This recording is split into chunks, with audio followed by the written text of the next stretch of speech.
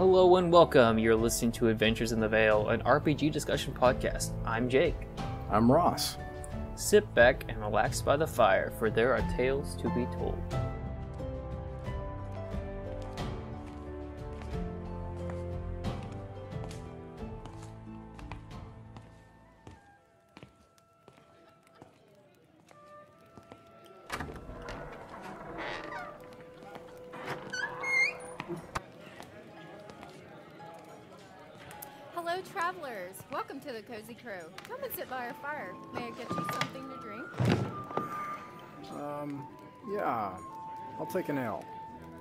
Have that right out.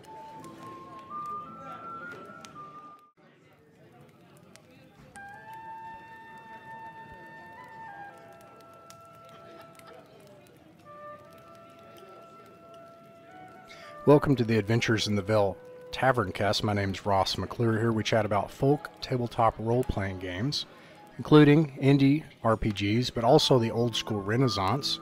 Today I'm joined with Erik Tenkar, your bartender in the OSR, proprietor of Tenkar's Tavern, one of the original OSR blogs.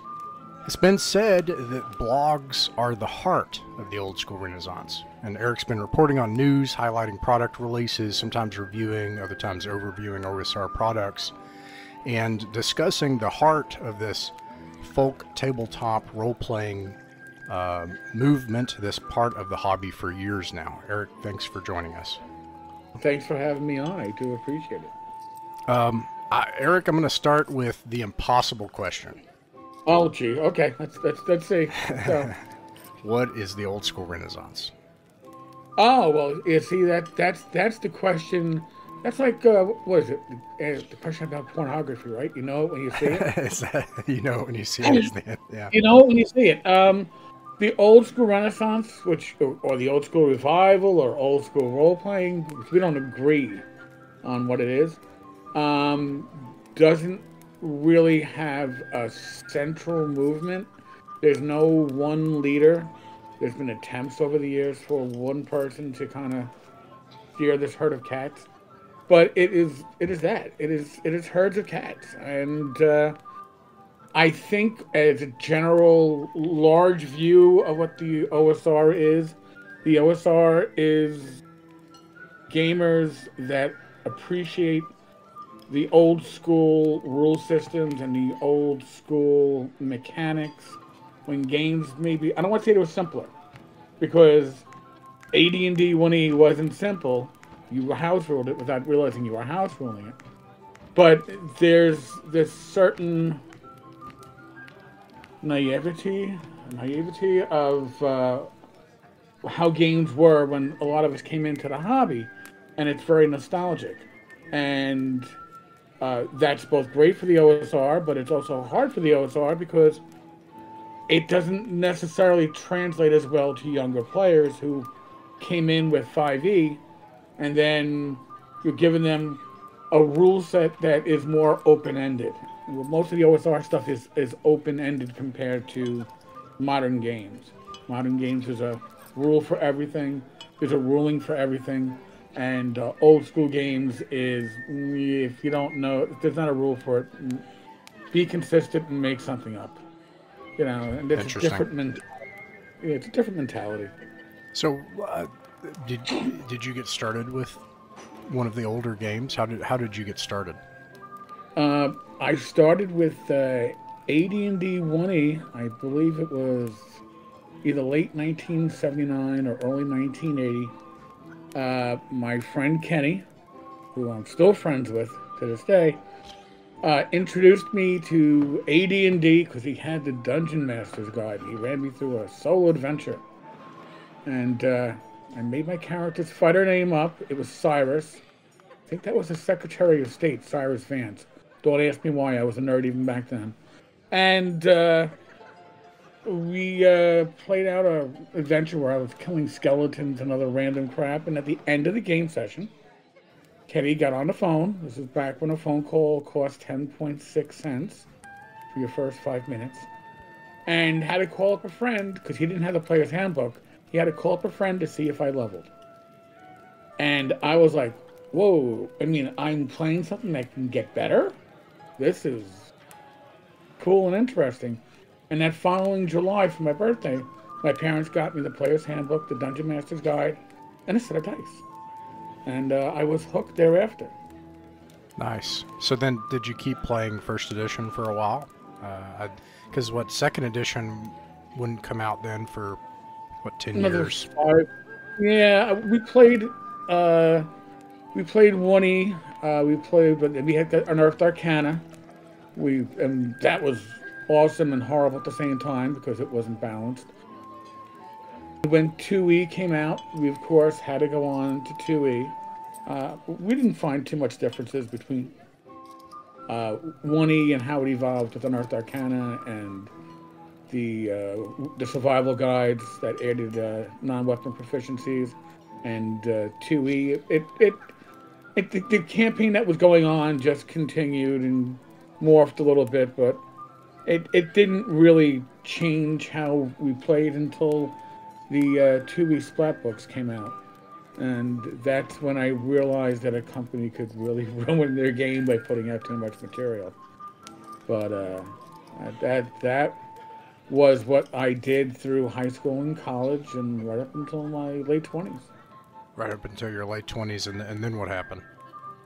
And then I got into the New York City Police Academy, and in the in the academy we were we we were uh, Monday through Friday, weekends off.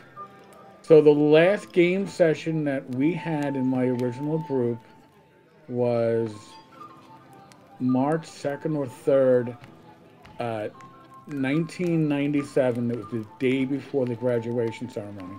So that Sunday was our last our last uh, session because after that, I didn't have weekends off for well Wow. over a year. Didn't have part of a weekend off for a long time. So then that's when I realized that you know there's this issue with adulting.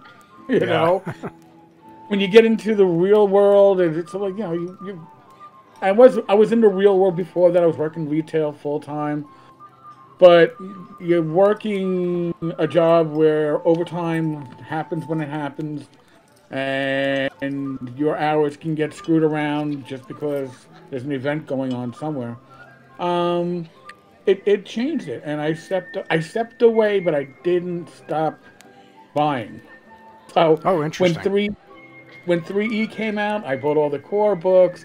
I was buying all the uh the uh, Forgotten Realm stuff. So I was, I was still on the cusp, and of course my original gaming group at that point, adulting hit everybody, and uh, we actually moved to uh, EverQuest and Anarchy online because you could game at 6 a.m. on a Sunday morning. Could be asynchronous.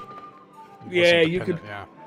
Yeah, it wasn't dependent on getting in the group together in one physical location. The, the VTTs that I could find back then, because I was interested in it, were things like Klug Works, uh, God, uh, Screen Monkey. They were really uh, VTTs that were, to say they were incomplete and hard to use Yeah.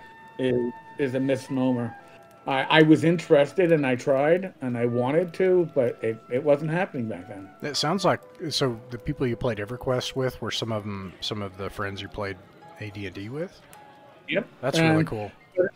And and it was weird too because some of the we had my original gaming group, who by the way we still get together once a year. Wow. Uh, we gather in a, the Gathering of Fools is usual in in May. We lost one of our core group when the uh, towers came down. Wow. And so we've been doing a gathering yearly since then. So, and we don't game. I'll, we might dice. I might give away gaming material. I'll, I'll buy stuff, and everybody gets like, you know, years ago. I think the first time I did that, I gave away Castles and Crusades, like the first print of the uh, player's handbook. But I always bring something gaming related to give out because these people have kids and they still wish they were gamers, but they want to be gamers on that on that EverQuest timetable of, hey, uh, can we uh, all get together this Saturday at 9:30 in the morning from 9:30 to?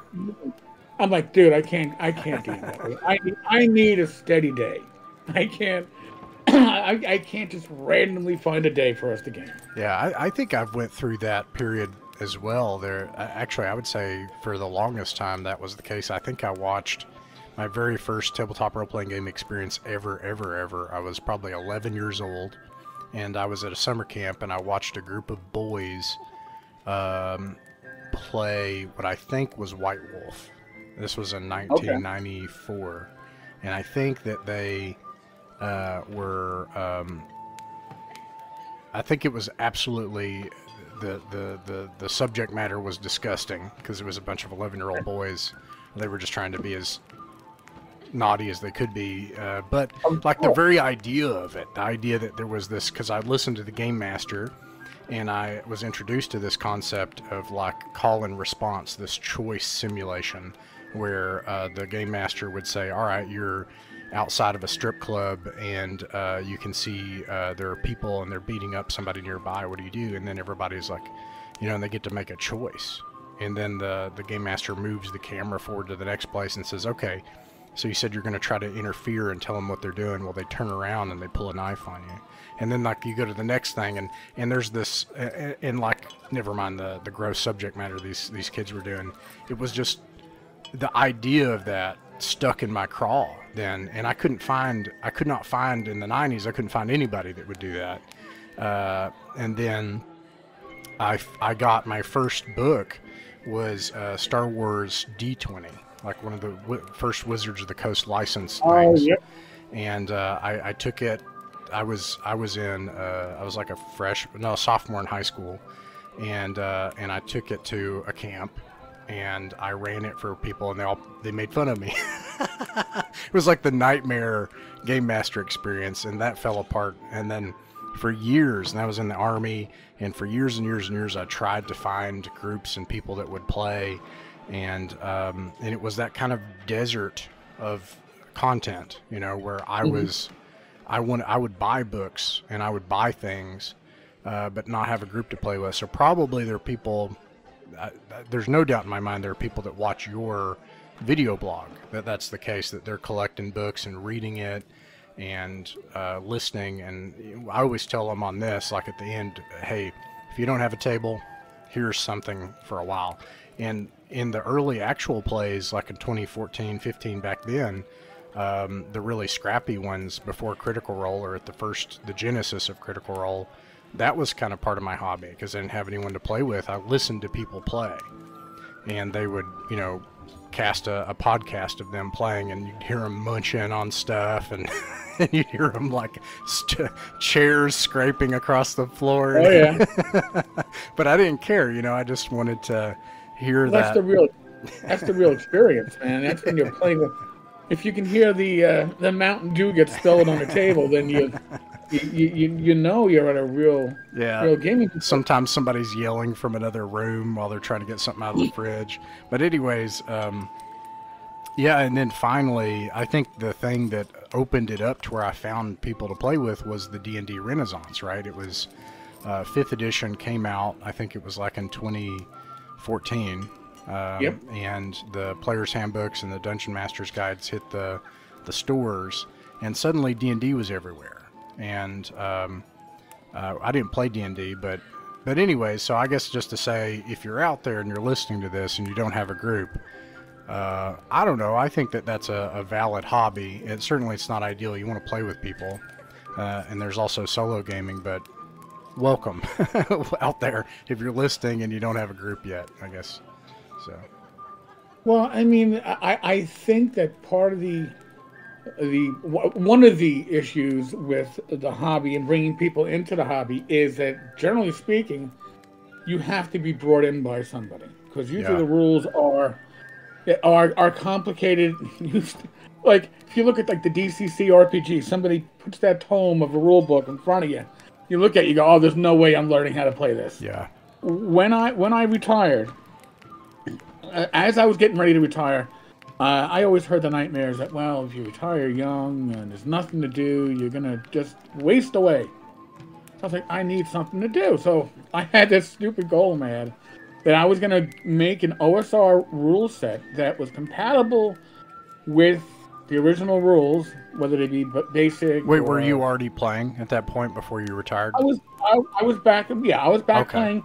I had a Saturday. Okay, I'll, I'll, I'll do a little backtrack. When D and D Five E was being play tested, um, I was active on message boards, and I'd come back and played a little uh, on uh, Fantasy Grounds, but without voice. Um, I played in a Castles of Crusades game and a Dark Heresy game, and they were they were fun. It was all text, texting, no talking and uh, I was dating my wife at the time, and these games were on Saturday nights. And my wife, who lived in the Bronx and I live in Queens, would tell me, "Oh, you got this game going on tonight? Well, get me home so you have time to game." I went, "No, I, I, don't have to. I'm only a player. I don't. I can skip." She was very insistent that I enjoy this hobby. So when my friend Ray Christopher, who I knew from uh, Google Plus, was talking about putting together a playtest group for D&D Next, because he got into the uh, friends and family, the early playtest, uh, he asked me to if I wanted to be part of this group, and he put it together uh, using I forget what the I don't think it was Roll Twenty at that point, but we were using uh, Google Hangouts and a basic VTT, and I saw the difference between a VTT where Fantasy Grounds looks beautiful. Don't get me wrong; it is a beautiful looking uh, VTT, very automated. But to have that voice and video as part of your virtual tabletop experience Yeah. transfers it. Listen, can keep people don't wander away for Right. thirty minutes. In some ways, it's better. That's that's part of the secret there. Yeah. Like when You know. do that.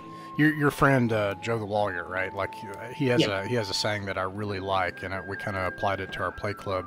Because yeah, we're connecting from across the world. I'm talking to somebody who's from Lithuania and another person from South America right now about doing an afternoon game in two weeks, right?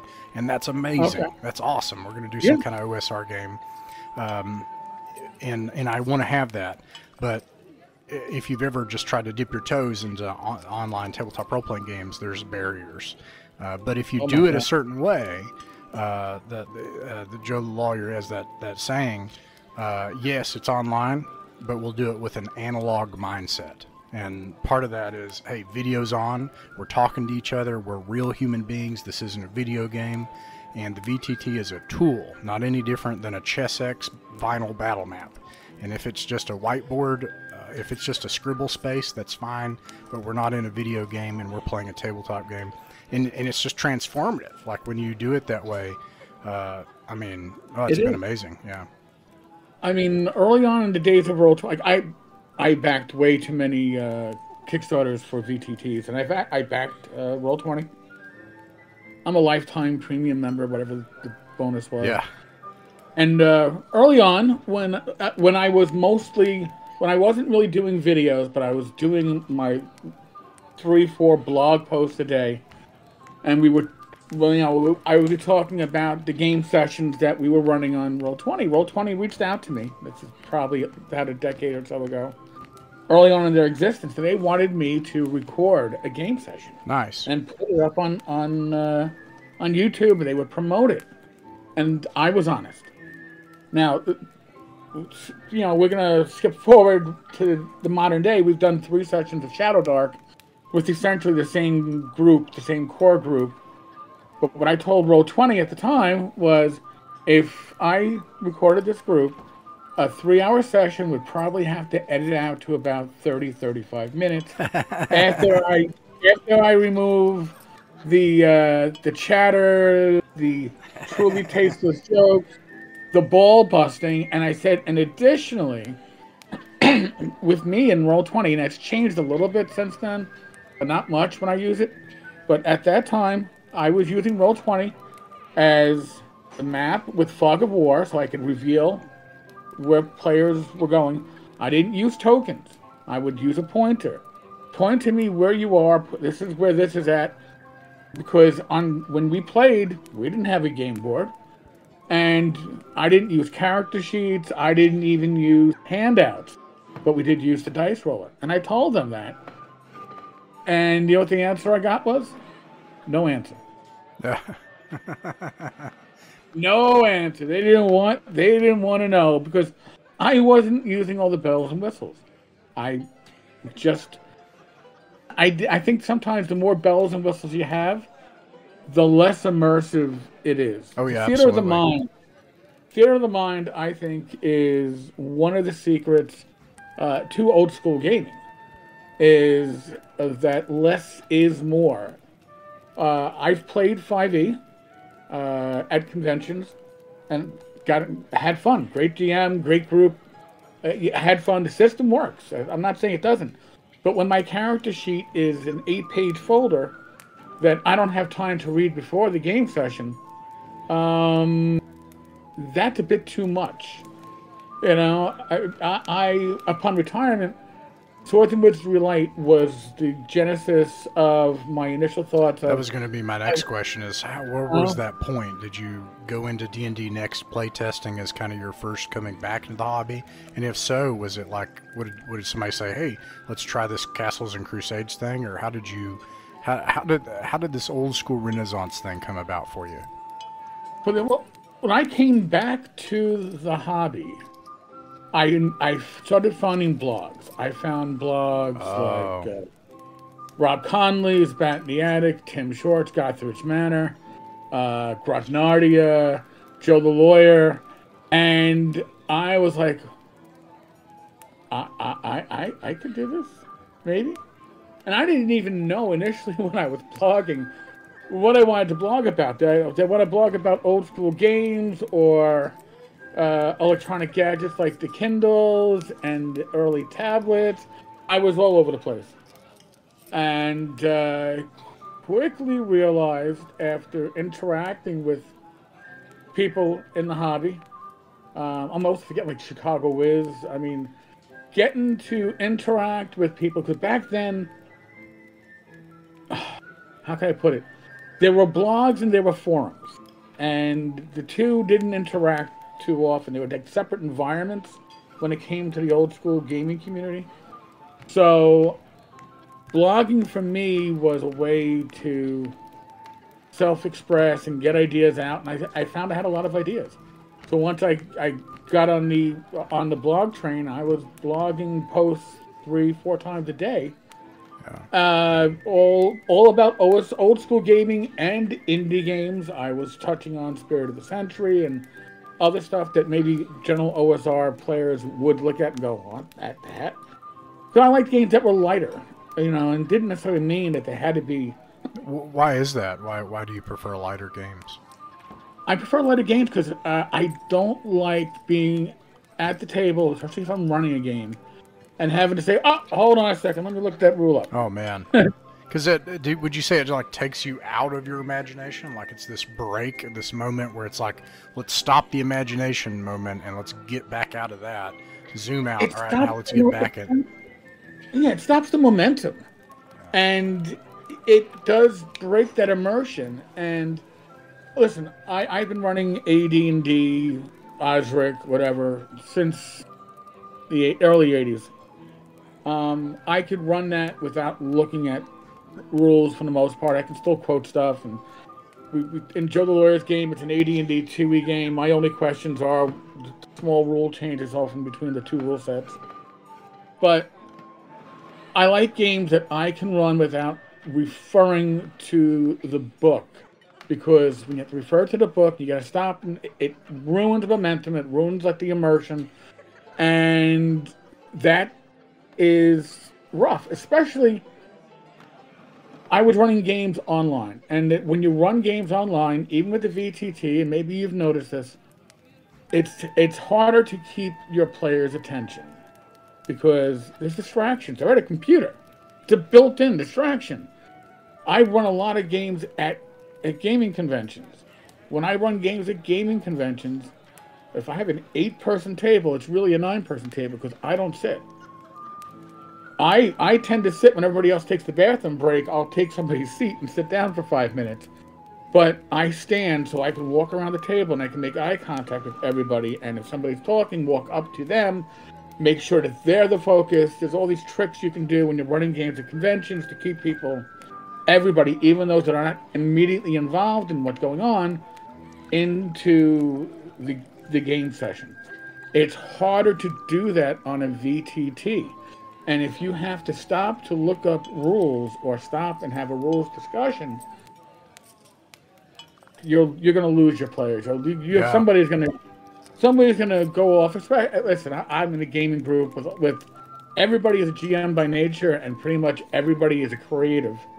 And if if I lose somebody's attention, Greg Christopher is going to be laying out his next product in the background as he's, oh well, I'm not needed now, Uh, and I don't blame him for doing that. But that's why I need to keep everybody involved. Yeah. And I'm not going to do that when I have to stop and look stuff up. So I find that for the majority of the original OSR style, like the older gamers, they prefer the original rule sets because they've been playing it since the 70s and 80s. They can play it in their sleep. They don't have to look up how many, uh, all right, how many orcs are going to be affected by this sleep spell if there's also two goblins in the room. They they they remember they remember that chart, and they're going to figure Right. it out based on hit dice. Whereas if I'm playing 5e, I can play 5e. I can't run 5e. There's there's no way. I've read the rules. I can't run it. There's just too many moving parts. Yeah. And I believe that a GM should intimately know the rule set that they're running. Because it's on them to be, uh, I don't know, like the programming language, and everybody else just kind of latches onto it Yeah. and input. But you're the one that has to to keep everything running. Let, let me pick apart some of the things then, and Yeah. because you said, um, you know, so what is the old school Renaissance? And you said it's in a, a it's like it's people that whatever angle and for whatever reason they have an appreciation. They have an appreciation for how these older games worked. But here are some things I'm hearing you say as you're kind of describing it too. One of the things I'm hearing you say is it sounds like um, and maybe I don't know if this is unfair, and I'm not trying to. Uh, I'm not. I'm not trying to overly. It, it's funny sometimes how people will overly try to define or put into a taxonomy like everything, but hmm. but it's also interesting. Like it seems like it's hard to define. First of all, so like Oh, this this really? R part of the o- old school, it sounds like part of that R that you you, you and these other bloggers were is this hmm. kind of community of collaborators and ideas and like this like versus it makes me think you know like the take the r off and it makes hmm. me think of like rick stump who there are people on dragon's foot they just kept playing. They they just they, Oh, yeah. they never stopped you know right? So they just kept playing and that's that's another thing. But it sounds like part of this r part of that osr was that you all were ideas people and you were sharing ideas. So it sounds like the internet sounds like a huge part of it. Because there's probably oh. people that just kept playing 1e and they never stopped or they played BECMI and they never stopped. Right. but for you guys it sounds like this collaboration on the internet was a big part of how this thing has evolved and come out over time. Well, I think like Castles and Crusades was essentially a cleaned up AD&D 1E and showed that you could take the 3E OGL and you and the SRD and you could essentially reimagine an older rule set in Castles and Crusades is like proto OSR to some people it doesn't really quite fit every definition of it but I, I think it opened the door. It was like the Rosetta Stone for what followed. Once we got Labyrinth Lord and Swords and Wizardry and Osric, these weren't necessarily reimaginings of prior editions. These were reworkings. This was saying, hey, I like that Model T, but it has all these defects, and man, I could put that together to where it just it just works. Let me rebuild it, and and see with with modern technology, but still have it feel the same, but read a lot better. And I think that's what a lot of these reworkings were. I think Matt Finch uh, and Stuart Marshall uh, coming out with Osric uh, under legal threat from WotC. Not a hard legal threat, but pretty much, uh, yeah, you can't do this. And we're like, yeah, stop us, essentially. Um, now, is Osric a perfect uh, replication of AD&D? No, it's got certain house rulings built in that were probably common to the day, but it's it's it was written. Osric was written to be a publisher's tool. Osric was not written to be something where players were going to sit at the table because people still had the player's handbook and the DMG. Osric was written so you could publish games or modules and say, uh, for use language. with Yeah. yeah, for use with Osric, which meant 1E. But people looked at Osric, including myself, when I ran my first. Uh, when our D&D Next playtest group fell apart because the D&D Next playtest was constantly changing the rules to the point where, as players, we getting frustrated, and Greg Christopher got frustrated, and Greg's like, "I'm burned out," and then he goes, "Erik, can you run a, a, a game session?" And I was like, Oh. "Yeah." So I go, "I'll run, uh, I'll run, I'll run one E." He goes, "Oh, okay." Interesting. He goes, I don't, I goes, I don't have one E." I go, yeah, my books are in storage. I go, make it Osric. I have Osric in uh, in print, but the same thing. They work the same at the table. It's just I can't give you a page reference from one to the other that's going to necessarily line up. And I used Rob Conley's uh, Blackmarsh setting, which was beautiful. And it's a sandbox.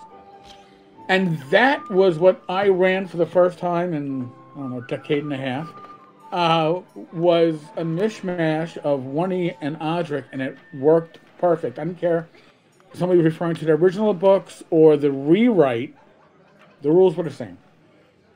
And uh, that's, I, I was already blogging, obviously, at that point, but that's when I really got my, my OSR juices flowing and started becoming a bit more of a creative because I was not just a player, I was a DM. And I think DMs, GMs tend to, based upon that position in a gaming group, you have to present content.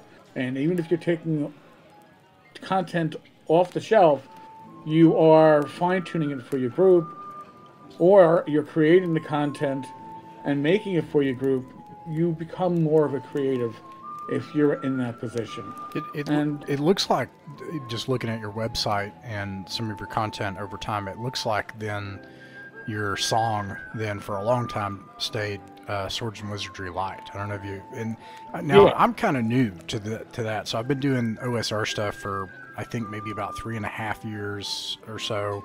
But it you know when I started, everybody was playing Old School Essentials or Lamentations of the Flame Princess. But it's all BX, BX all the way down and all the way up, or some kind of derivation of, of that formula, like Black Hack or something. Um, so I'm pretty new to the to like first edition and uh, original D and D and Swords and Wizardry. My observation is the DNA is a little different. That's just been my observation. um, but it, it, it I don't I don't know if you did what you think about that, but also it looks like that's been where you've been kind of operating for most of the part, right? Isn't that kind of like White Box, Swords and Wizardry, Advanced Dungeons and Dragons, that kind of thing? When you look at Swords and Wizardry, Swords and Wizardry is uh, the original. Swords and Wizardry has many different flavors that Matt Finch was uh, involved in putting out. The core rules, which were the original classes, and basically the original rules, I believe, including from Greyhawk without the original classes.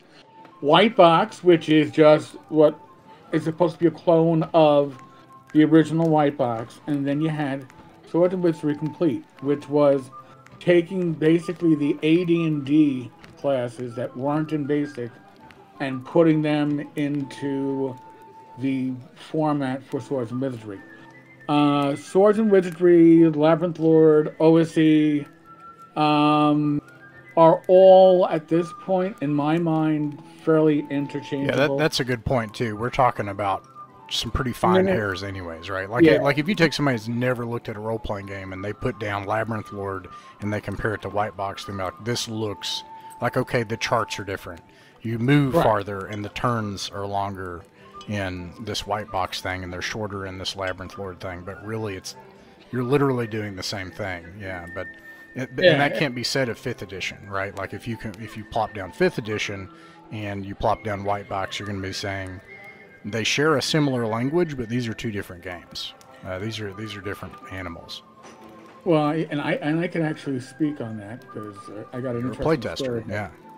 Well, now beyond that, because Swords and Wizardry Light was something that, and it's, this, this, this story will lead to the next one, but Swords and Wizardry Light was something that I had kind of conceived of in my early retirement. I wanted something to keep me busy, and my idea was I'm going to write an OSR rule set that will be like, they'll be like, like the viral pirate rule set, and you can print it on one legal size piece of paper and fold it over and you'll have like you know four pages on one sheet and it's going to be uh, it's going to be like awesome. And everybody can print it out and do it as they want. You could leave it at game stores.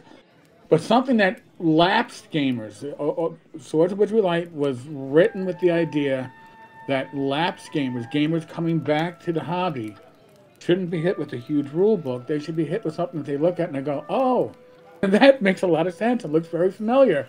And look, it's, it's, it's not intimidating.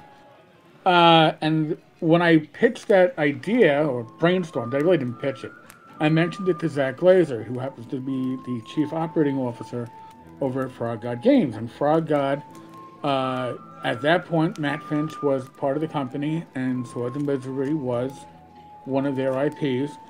And uh, I was asked if you could do that and build off of, of an actual rule set or build down, would you? I go, well, sure, but you know, how am I going to get that license? He goes, hold that thought. And he came back. He goes, all right, you got two months. I think it was two months initially. I was told I had two months to take the white box rules, 110 pages, and whittle it down to something that would fit on four eight and a half by 11 pages. And then in that process, I was told, oh, you've got a week. Because they wanted to get out in front time for game hold. They wanted to get physical copies out and they had a print time. And I was like, oh, shit. So uh, I, I did a lot of uh, uh, highlighting and redlining through uh, some uh, copies of White Box. And with the help of the excellent layout from Zach Glazar, uh, we got it to fit on a single laminated sheet of the two inside pages uh, were DM facing, and the two outside pages were the players. So if you're a player, you only needed to know two pages of rules. And Swords and Wizardry Light is uh, four classes, four races, three levels, no experience points. Uh, two spell levels for the uh, magic users. Uh, I don't know, two dozen monsters. Uh, it got everything that you needed to either come back to the hobby or have somebody teach you the hobby without being intimidated. And proof of concept was with my niece, who was six at the time. I showed it to her, and her eyes lit up, and she went, "Uncle, do you know what this is?" I go, "Well, yeah, I gave it to you." It's... No, this is D and D in four pages. Yeah. And she goes, "You can teach me to read four pages, and then I can play D and D." And I went, "Wow, I didn't even think of that." But so it became great. It's, it's it has brought a lot of people uh, either into the OSR or into the hobby. So flash forward a couple of years, and I'm at GaryCon. And uh, What, what year did Swords and Wizardry Light come out? uh, I want to say 2016. Okay. or 20, I, I think it's 2016. So, a few years later, I'm at GaryCon. I'm there as a guest of Frog God because I'm I work the table and I run games for them. And it was a year of bad snow. My my uh, my arrival time got moved back a day and we had a, another GM for Frog God that just never showed. And I was running uh, Mouth of Doom, which the 3D terrain uh, for Swords and Wizardry Light. And I would get the table, and everybody would get a copy of the rules to take home with them. You know, this is yours. Mouth of Doom from Rappan Athuk later when they Yep. had that. Yeah. 3D My players have been in and out of that demonic mouth many, many times now. So, um, my way of running it was, you know what? Too many players have read it, and I got the whole thing mapped out in front of them. So I am going to run this on my own notes. They can see what they can see, but nothing is going to be as it was in the original. But I'm told at, uh, I believe it was 255, that at 3 o'clock I had to run a game. And I'm like, what game am I running? I already had like two or three Sword and Wizardry games that I on my schedule. Like, oh, you got to run a 5e game. I go, and I look. And it's Zach telling me. I go, Zach, I don't run 5e. I read the rules twice, and not even straight through the second time. He goes, well, he goes, I don't know what to tell you. You got a 5e group. So I grabbed my Swords and Wizardry stuff because it's what I know. And uh, I sit down at the table introduce myself, and I say, listen, I want to apologize. You don't have the GM you're expecting. So, we have two ways we can go about this. I go, I do not know the 5e rules anywhere near enough to run it and run it properly. If one of you, you players at this table wishes to be my uh, DM assistant and essentially run this, uh, I am happy to do it that way. Or, I brought with me Swords and Wizardry rule sets. They're yours to keep in any case. But if you would rather roll up Swords and Wizardry characters, I can run that, and I can guarantee you, you'll get a full session of gameplay out of it. Had a full table of eight. One guy politely said, "Yeah, that that old school shit ain't my cup of tea," and, and removed himself. And I was like, "Fine." And as he got up, somebody else came along and goes, "Is that an empty seat?" I'm like, yeah. So I lost one, gained one. And I had to explain character generation. And the players asked questions I kind of expected from 5e players, like, where's the skills? There are none. Um, uh, goes, they, oh, this is it, just four pages? They go, actually, for you, it's only the two outer pages, because that's all you need. Um, and I go, they're like, well, where's the equipment list? I go, well, for the starting characters, you just choose a starting package. And if you want something that's not there, just ask me about it. Well, then what do you do? I go, I make up a price if it's available.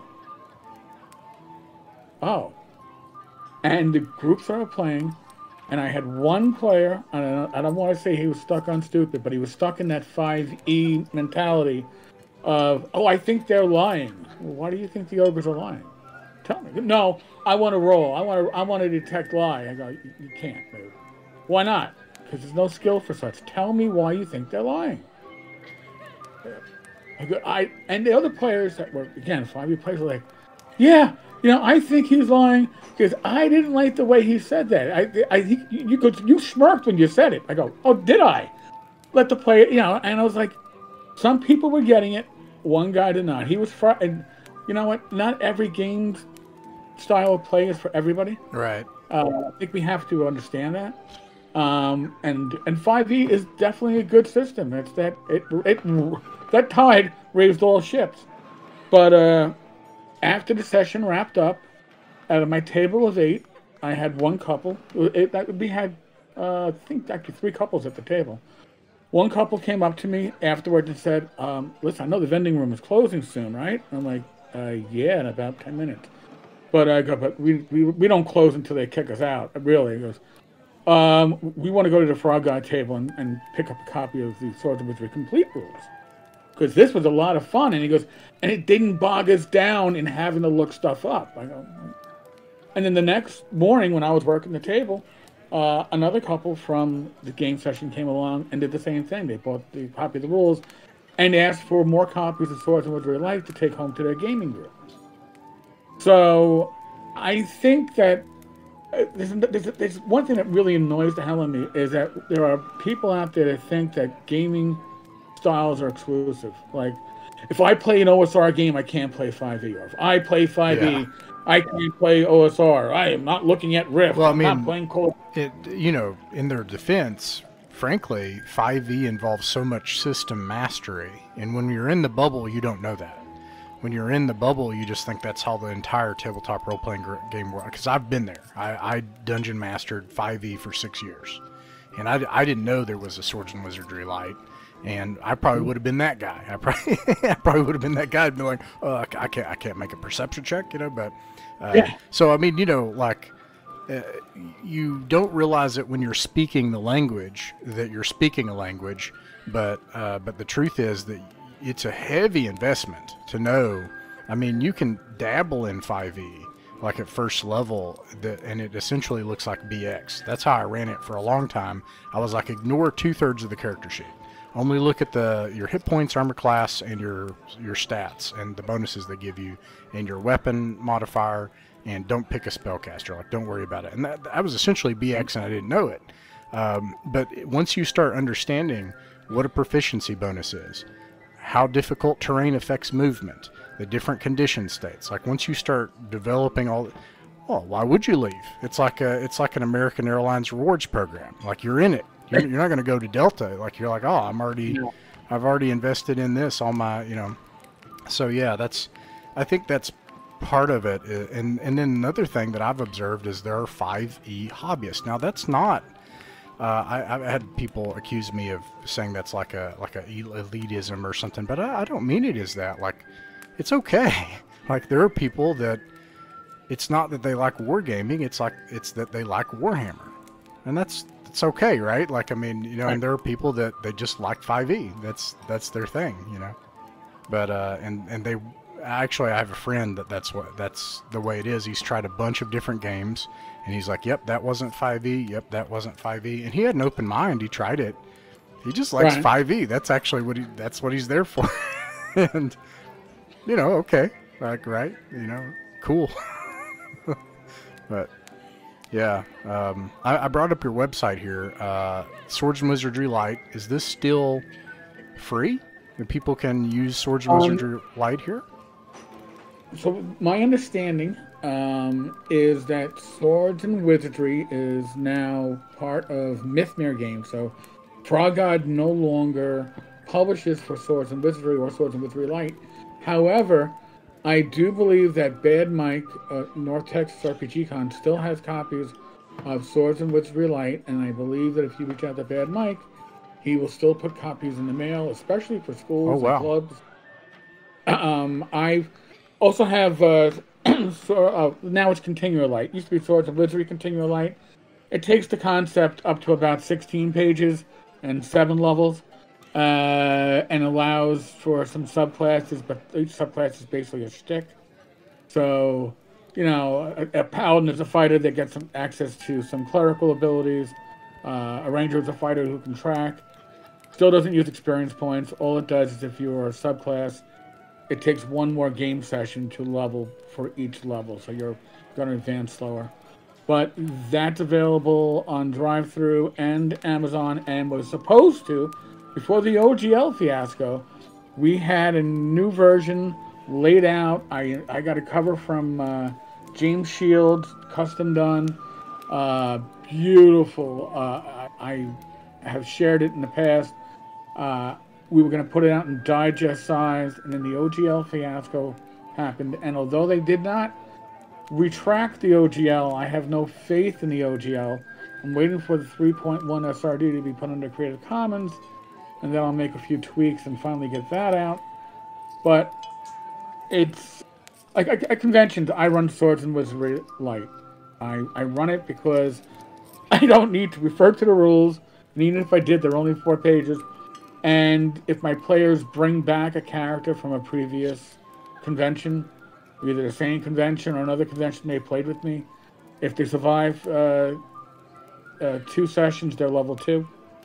So if they survive uh, another three sessions after that, they'd make third level.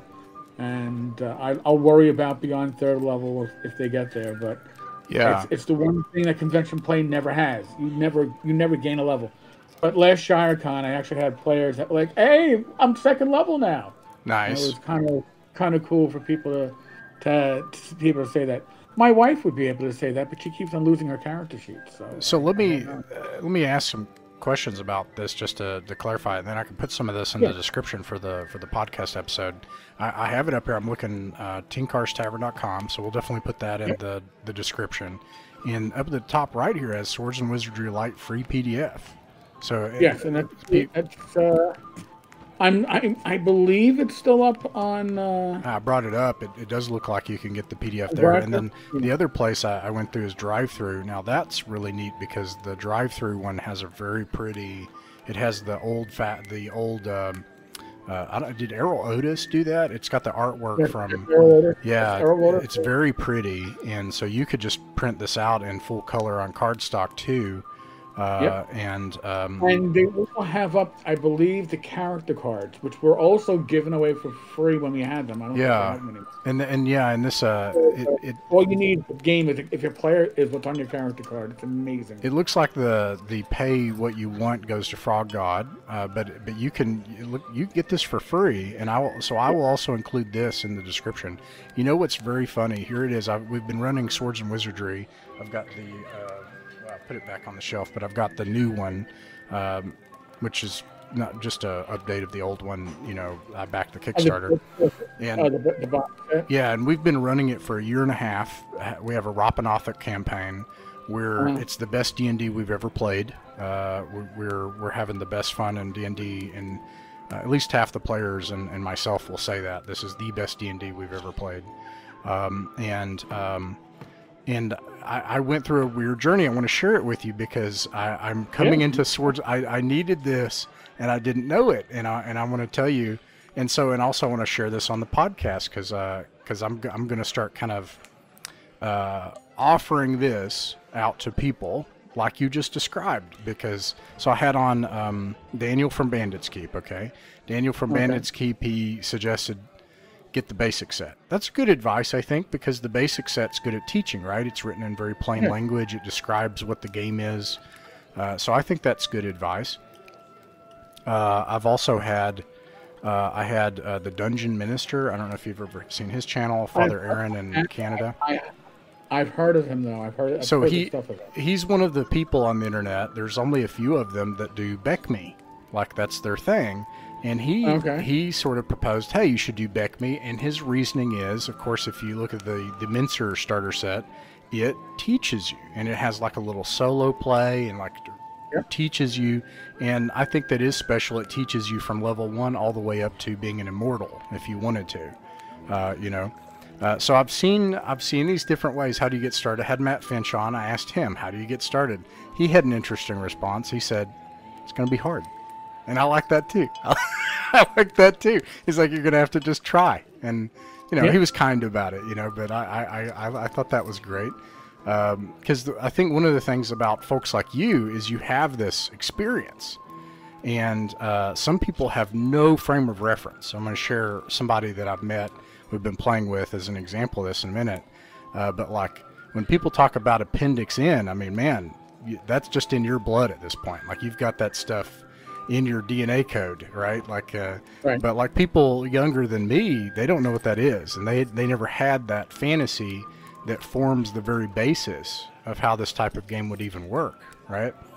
Well, anyways, here we are, Swords and Wizardry Light. I have a player came into Swords and Wizardry. We have two slots that we rotate, so that so that I and I say, hey, if you want to try the original game of Dungeons and Dragons, uh, a retro clone of it, albeit, but nonetheless, it really shares the, kind of the DNA of that game.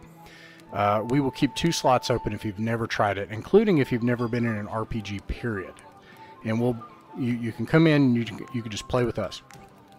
So this person comes in. Uh, they're a young person. They're 19 years old, and they've never really played a role-playing game. So I, I give as their kind of benchmark their level of experience. They don't know to roll a d20 to hit a monster. Uh, right. So that's where they're at, right? And I, I'm like, how do I convey? Now I could give them something that teaches. I could give them something simple or rules light, like Mausritter. I love Mausritter.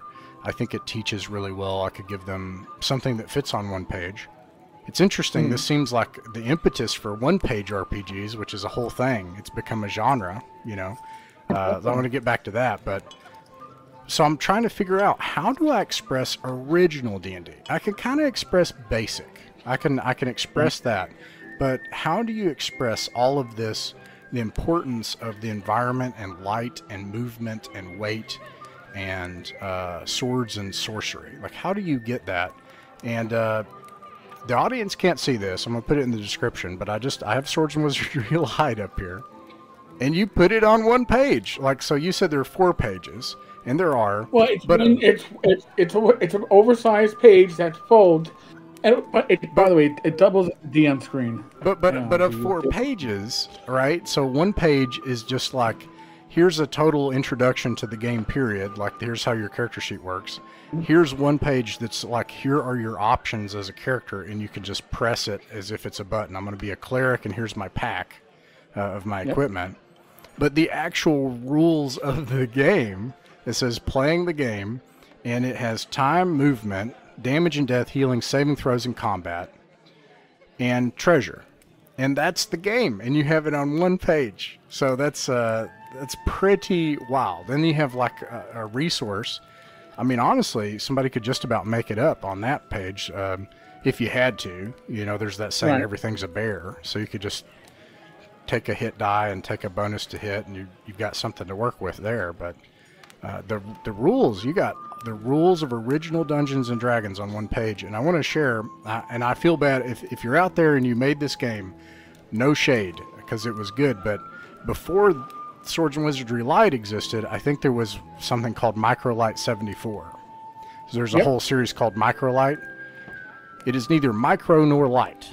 Now, to someone who knows Dungeons and Dragons, it is. But if you what if you describe that convention experience you had, and you're like, I'm going to give this to somebody who's never played it, they're going to be their, their eyes are going to cross like Microlite 74. So yeah, here it is. So I'm going to put this in the description. I think that's a big deal. I think this. Now, well, another, uh, my wife is a gamer because she goes, she enjoys going to conventions, she enjoys hanging with people at conventions, she loves gamers, and she enjoys playing in game sessions at conventions. But she does, she has no interest in learning. That's rules. like my wife. Uh, she just wants to play. She's she's not Yeah. like me and uh, on here talking to people in New York City about like the finer the points of the hobby. You know, like she just wants to Yeah. play sometimes. she just wants to play.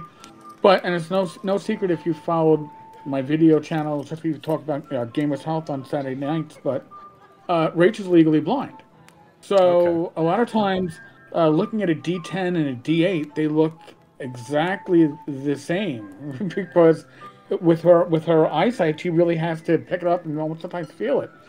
And when I was thinking about writing Swords of Wizardry Light, I realized too by going back, not by stepping back to really the roots of the game, um, I could just do a D20 and a D6.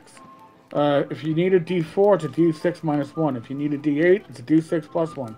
Gives you this, this the same spread, and that way a D6 and a D20 doesn't look anything like each other. And what I was able to do while working the Frog God table is we had a bit of a bucket of odd dice, and when we would give out a copy of Swords and Wizardry Light, especially to a younger player, you give them a D20 and you give them a D6, and it's like that's all you need. I mean, generate your character, you probably would be happier to have three D6, but that's really all that you needed is a D20 and a D6. You weren't going to confuse players by, oh, I need to grab a D12. Yeah. Oh, oh, a, or a D10. Uh, what? what? I just cut No, out the 3d6 thing. I, I mean, it's great. Obvious, there's a, there's a reason we do it in every single old school game, but I cut that out when I had new players that hadn't played before. Uh, I, I used white box because I didn't know. I would have used Swords and Wizardry Light if I'd known about it. By the way, at the time, but uh, but white box is similar.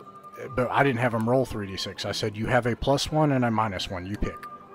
You want to be you want to be dexterous, get a plus one, and then minus one to charisma, and you have fewer followers if you try to hire somebody in the tavern or whatever. And, you know, Yeah. and then roll. Let's just roll with it. You know, You know, I, I- I made one. I guess you could say I made one concession to the new school in, in gaming is that there's no penalty for a low score, and Yeah. no no bonus is better than a plus one. Uh, at, at conventions, like I'll, I'll I'll do a house rule. I'll tell people, listen, if you choose to be a human, you can take your lowest score and make it a 15 because you're giving up on other stuff. But that plus one doesn't make much of a difference. And honestly, Yes, I'd rather five see my players. yeah, I'd, I'd rather see my my my players role play the low score. Right. And and I told them that too. Listen, what are you putting your low score? Wisdom because you're a fighter. All right. Just remember your character is less wise. And when you make it a role play aspect, a lot of players will go, "Oh, I can role play that. That sounds like fun." Whereas if you just make it a mechanic, then people. And I'm not saying that min maxers aren't going to be the first ones to go, "Oh, well, yeah. All I got to do is role play it. I'll put it." We all deal with those, and you know, you. but at a convention, I want everybody to have a good time, and I find that players are more invested in a convention session when they can create their own character at the table. So we take 10, 15 minutes at the beginning to make sure everybody has a character that is theirs. And if it survives, has the potential to improve, you've changed how a convention game generally plays out. Convention games are usually one and done. Players will do stupid stuff at the end of a session because it doesn't matter if they die. Yeah. You know, so Yeah. Okay. So awesome. I, I'm really excited about um, taking Sword, Swords Wizardry Light. Might be the thing I just keep start plopping down here, and I'm I'm going to take you up on that, and I'm going to hunt Bad Mike down and get a an info and and say, hey, let me let me send you some some money here, and let me get this uh, get, get some hard copies here and proliferate this. But um, yeah, so all right, a couple of other big questions here, and I, I won't take any more of your time. I know we're running over a little bit, but uh, just to fit a couple more in here. Uh, so the old school Renaissance. So we've talked about that. It's Genesis, your experience in entering into it, why we do it, which I think, by the way, that has been basically the unanimous. Uh, actually, I think this is a big. If people listen, they're starting to hear the difference between what I would just call old school, which could be a lot of things. Could be uh, could be this, which I'm having a blast with. Um, oh, Black Box Traveler. yeah, Black Box Room Traveler. Yeah, you know, like uh, there's a lot of things are old school, uh, but then it Yep. sounds like this Renaissance has some unique attributes, and part and there's the spirit of collaboration, uh, a sense of do-it-yourself. Like I have the game for my table, and uh, and and then also this sense of I want this to be fast. And every single person has said that. Every I want it to be fast and simple. I want it to be open to everyone. If someone has never touched this before, I want them to have fun. And uh, that's what Matt Finch said. He his his main thing was he just was like, I just want this to be improvisational and fast and cinematic, and I want to have a good time. And so it seems like you all have tapped into that. All right, where do you think it's going? What is it? Where's it headed now? What's uh, you know, obviously since those days, since kind of the swords and wizardry days, BX seemed to, uh, in terms of at least the signal space, the the things that are being talked about out there, old school Essentials took over, and it became like that's Oh, the yeah. game. And then, uh, and then there's there's other things. This kind of post OSR. So you have things like Knave, Black Hack, and Shadowdark, which have like an important connection to the old school. Some people say it's beyond like a post OSR, or you know, uh, I, whatever. Though really, um, Right. so where where do you think it's going? What, what do you think this looks like in five or ten years? Well, I mean, the the impetus or the, the formation of the OSR was brought about by the OGL and the SRD for 3.1 because it allowed all this hacking and creation to happen. That's what really caused that explosion.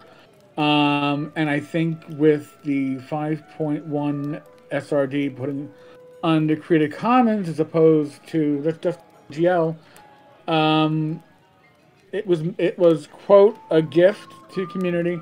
I I think it's also to make it a bit less viral. The the OGL forces products in a lot of ways. You have to you have to go through a lot of work to make an OGL product not viral. To make it something where it doesn't expand the material that others can work upon. Whereas the Creative Commons license You have to work to open up your own work. So I think what you're seeing is with a lot of these games, like Shadowdark has its own uh, license for third parties to freely use. Uh, I believe uh, the same is going to be with Adventurer Conqueror King System uh, 2 uh, and with Dragon Slayer from Greg Gillespie. Everybody is getting away from the OGL and putting out their own license. Even Matt did with uh, Mythmere Games. He put out his own license for Swords and Wizardry because all these we, we've learned that role playing thrives not just because of publishers, but because the community that forms around what those publishers have offered and the creations that come from that. And uh, you want your game to be viable, well, you better be giving a, a, not not a closed license, a license that's pretty pretty good to your creators out there, so they support your game. Uh, Shadowdark is a lot of fun.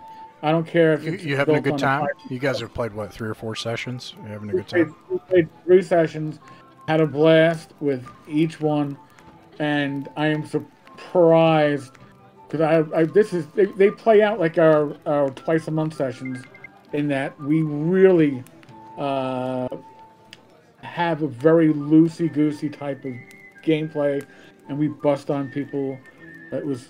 It was. I, I, I love Tom Barol. The fact that Tom fell asleep by the end of the session, we got to bust on him for that. Um, but uh, I feel like if you I- fall I- asleep during the gameplay session, everybody gets to make mechanical choices about you falling asleep. It gets to. It be, Yay. That's uh, that, that that wouldn't. Don't follow my advice on that. I'm just kidding. Yeah. Rob, uh, Rob Conley insists he didn't fall. He didn't fall asleep. I can neither confirm nor deny. But um, I had just pass these guys bedtimes. But uh, I I think the OSR will continue to bro. It's not gonna.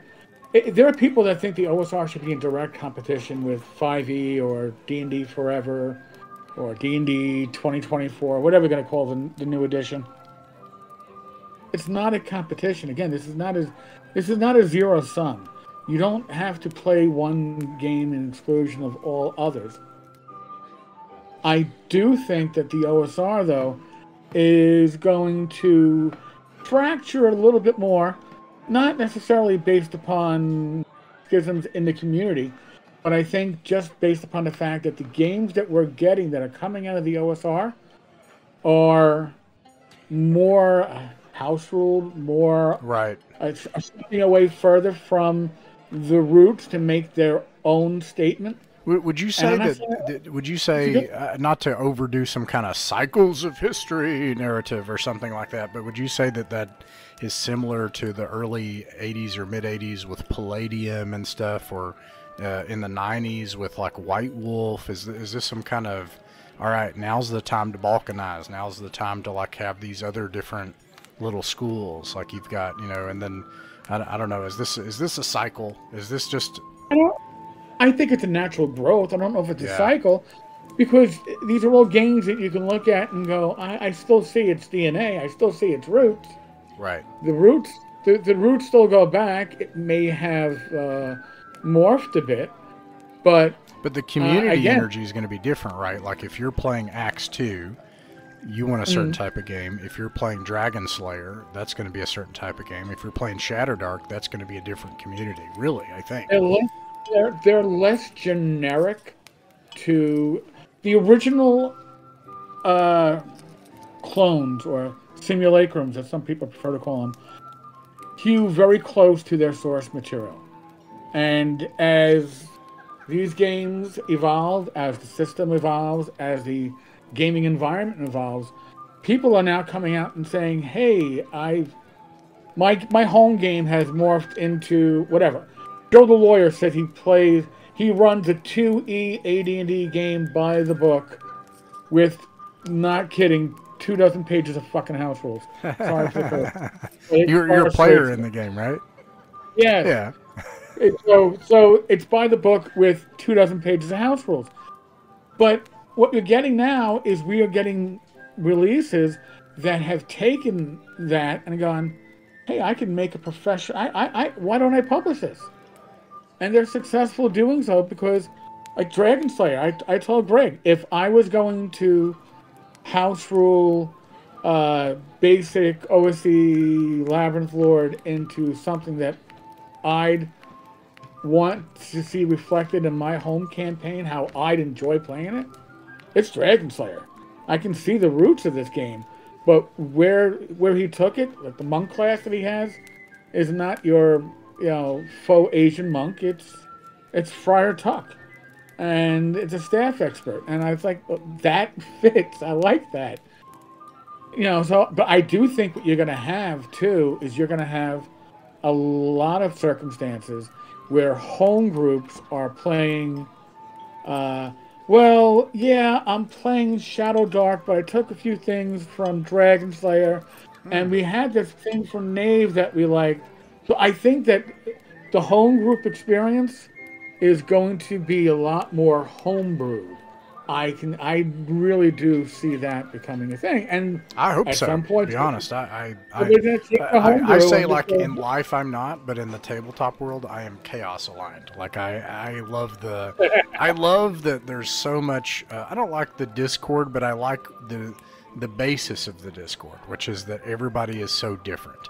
I love that. Like I, I don't know. I'm a big fan of that. I'm I'm anti-orthodoxy of play. Sometimes what I'll say. I like that there's lots of different ways to skin the cat. Fair enough. Yeah. I like that. Yeah. But yeah, I, I, like I said, I, I see the OSR to be growing. It's not going to be exponential like its initial growth was, but I don't, I don't see it shrinking. It's going to be as viable a market as say 5e or D&D 2024. It, it's never going to reach that size. Yeah. It, it it's not commercial enough to do so. You know. Yeah. I, cool. Um, Erik, thank you so much for talking to me. Before we go, um, I, like I said, I'll put your website in the description.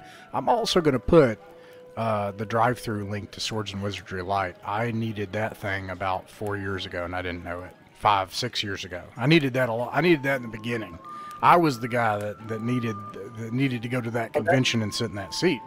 Uh, so well, you see, that, that's what it was written for. It was written so people that have lapsed from the hobby or want to learn about the hobby, yeah, you're not going to. It, it, it's it's a great way to introduce. I don't think you can learn how to play D and D, the generic terms. I don't think you can learn how to play an RPG just by reading it because that right. wasn't the point. The point was I can give you this and and you can look at it and read it and you could be running a session by, by somebody who's a little bit more experienced and go, wow, this all makes sense. Yep. Especially if you played back in the 70s, 80s, 90s, early aughts, and now you're coming back. Yeah, that's great. Uh, so I'll put that in the description. Is there any other? Uh, I know you got a bunch of big stuff coming out, coming around this year in 2024. Are there any announcements you want to make? Anything you want to share uh, coming up? Uh, any, anything you want to announce or share? Nothing really. Uh, no, no major announcement. The uh, aside from we're adding uh, fireside chats. Uh, yeah, to I saw the, that. YouTube, YouTube roundup, which is going to because we have guests frequently on the live streams, but not everybody wants to stick around for two hours to listen to a bunch of guys hang out like they're at the local pub and talk about stuff. So it's going to be a bit more focused, 10 to 15 minutes. Um, so that should be kicking off. Maybe start recording some this weekend. Okay. Um, people that I normally don't get a chance to to bring on, and just to find out how they get, like you asked, like how'd you get into the hobby, and like how'd you become a creator?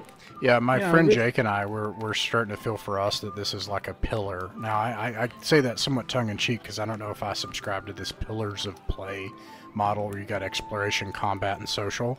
But uh, if there were, it might also be exploration, social, combat, and talking about it. like I, I like yeah, to just chat know. about it, you know, and and uh, sometimes it's hard to fit that in. I really enjoy that about your YouTube channel too, and I'll put a I'll also put a link to your YouTube you. channel. And for everybody listening, there's a lot of good live stream content, and uh, it's pretty frequent, so you can join in and just chat, or you can watch them play. You can watch them play Shadowdark, and um, yeah, it's, it's a lot of Shadow fun. Dark live plays are very popular. I, I'm Yeah. very happy to see that. But yeah, we do uh, a live every Wednesday night at eight. Uh, every Friday night at eight, except for the fifth Friday of the month. There's a fifth Friday, we don't. And uh, lives on Saturday nights, which is less about gaming, more about uh, the whole journey of uh, health and uh, showing folks that not yeah, everybody has health issues. Rach and I, my wife, we uh, we spend our, our an hour every uh, Saturday talking about our journey and talking about That's other people's great. journeys and you know it. It's the thing that people. It's, it's like nobody wants to talk about it, whether it's Right. in gaming or otherwise. Oh, Yeah. you know, we we we talk about it to let people know that their experience isn't, you know, their own their own baggage to to bear. That's We can- can fantastic. So, Yeah, I um uh, one of the reasons I've been doing this, and I, I, I at one point I ran or played seven games, no, no, eight games a week, and the reason is I was I've been uh, disabled from work. I have multiple health issues where I've been disabled, and it was um, it's very scary to discover that your body some you know you can get to a point where your body just does something and you don't have any control over it. And and i Yeah. think another thing that's uh, to note about that is in that time tabletop role-playing games brought me a lot of joy. And they were it was something uh, and this experience of being able to do it online and meet people around the world and get to play really kept me going. And uh, and it was uh, crucial i think. I, I i don't know um, i don't know how i would have made it without without uh, without the, the tabletop world. And on the other hand, the other thing I, I think, in all honesty, is at the same time it was also a terrible experience because um, there's a dark side to the tabletop world, and I had to learn how to. Uh, I'm still learning. I don't want to say, say that I figured it out, but I, I'm I'm needing to learn how to cope with that. I'm, I'm a very sensitive person, you know. Like I don't like I don't like being, you know, um, people being mean to me or other people and stuff. And so uh, there's a lot of that in the hobby. Uh, Most uh, overwhelmingly kind people. Like I would say nine out of ten, and then one out of ten is just like monstrously mean and do things that are kind of spooky, scary. And so um, that was hard when you're when you're powerless and you're disabled, and and people don't know. Uh, they'd say, "Oh, you don't have a life. You're on," and I'm like, "Yeah, you're right. Right now, I don't. This is my life. This is the connection I have with other people. I can't leave my house." And so, and now, th- so thank God, I'm I'm recovered. So I'm heading back to work. Thank God, like right. So I had some surgeries. I'm good to go. Very thankful. Uh, recovering very well. But I think it's worth thinking about that. That there's a lot of people that, you know, that's the case. That's this is their this is their joy, and so it's worth. I don't know. It, it, when you encounter people, and some people might be in a lot of pain, like literal, Yeah. like literal physical pain, uh, and people aren't at their best when they're in physical pain. You know, so. Um, I- you're talking about the internet, and the internet is yeah. is is like the uh, uh was it the uh, the bar I used to occasionally. Yeah, you said it's like a bar. Yeah. yeah, but but it's it's it's like the bar that had the sawdust on the floor to, to make it easy to mop up the uh, blood? the, And the urine? and blood, and and whatever else. I've been to one of those. That's, that's but that's the that's that's what the internet does. Is it? We talk about beer muscles and joke about beer muscles at like your, your local pub, and somebody's talking shit, and you're like, they wouldn't be talking that shit if they weren't on their sixth pint. Well, you know what? The internet puts you on that sixth pint right away if you're Yeah, already predisposed to that. Because you're like, oh, they can't get me. I'm on the other side Yeah, of the and room. I, I've done, I've done that. I'm, I'm not better than that. I've done that. I've I, I've absolutely. Um, but I, I try to think about that now. I try to think. You know, this might be this person. We had we lost a person. I don't mean a character. I mean a person. Lost uh, one of our players this past year. Uh, he had MS, and uh, so again, that's this was his life, and his family didn't even know about kind of this part of his life. He couldn't really move, um, and so what he had was what was on the screen, and he played tabletop games with us, and it was a joy. And um, I think, I think maybe it's worth for me at least thinking, you know, maybe that's the case with this person. Maybe this is something more closer to them than I realize, and maybe they're not at their best right now.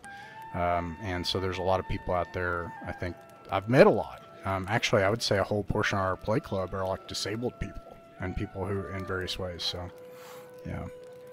So, anyways, I really appreciate that you do that. That, that you say, let's talk about life and, and health, and it's a real thing, and let's not shy away from death and from pain. And uh, that I, I love that. I think that's a, a really special thing that your your uh, video blog, if I may call it that, you know, Yeah. sorta, uh, offers. Yeah. Thank you. It, it, it you know, it, it's it's the it's something I look forward to every week, Not just because I do it with my wife, but because you know, I, I did a career where I was like, if I change one life for the better in 20 years, I know I, I was successful. And I treat the Saturday Night Gamers Health as if I can help one person uh, cope with whatever's going on with them, then I know I've been successful. Yeah. That's fantastic. All right, Erik. Well, thank you so much for, for Thank you. joining us. Oh, definitely, man. I appreciate it.